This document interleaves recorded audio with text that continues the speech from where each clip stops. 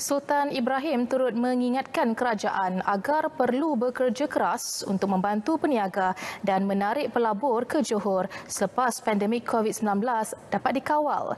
Ia supaya membolehkan banyak peluang pekerjaan diwujudkan. Tita Baginda kerajaan juga perlu membuat dasar baharu yang mesra pelabur dengan insentif menarik.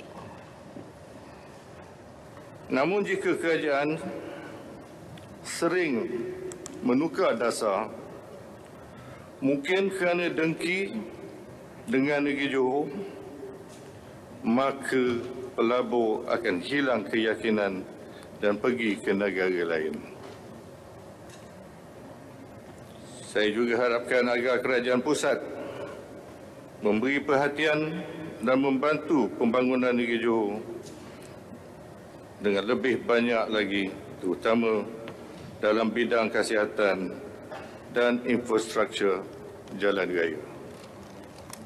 Baginda turut menzahirkan penghargaan kepada semua petugas barisan hadapan yang cekal berkhidmat menangani COVID-19.